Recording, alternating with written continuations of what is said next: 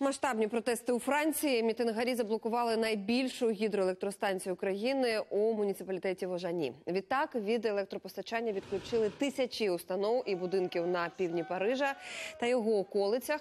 І нагадаю, з 5 грудня у Франції триває загальнонаціональний страйк проти урядової пенсійної реформи. Законодавчі зміни у цій сфері передбачають фактичне підвищення пенсійного віку із 62 до 64 років, а також скасування пільг і з раннього віку виходу на пенсію. На необхідності реформи наполягає президент Макрон для того, щоб оздоровити економіку.